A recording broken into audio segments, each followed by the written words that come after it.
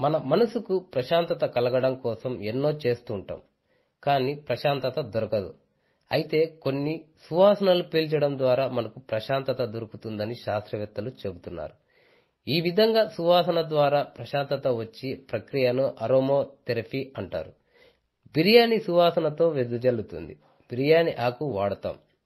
అటువంటి బిర్యానీ ఆకుతో ఎన్నో లాభాలు ఉన్నాయి రెండు లేదా మూడు బిర్యానీ ఆకులను మన ఇంట్లో కాల్చడం ద్వారా దానివల్ల వచ్చే పొగ వల్ల మనసు ఎంతో ప్రశాంతంగా ఒత్తిడి ఆందోళన తొలగిపోవడంతో పాటు రూమ్ అంతా సువాసన వెదజల్లుతుంది. అంతేకాకుండా దోమలు పురుగులు బొద్దింకలు ఇంట్లో నుండి వెళ్ళిపోయేలా చేస్తుంది.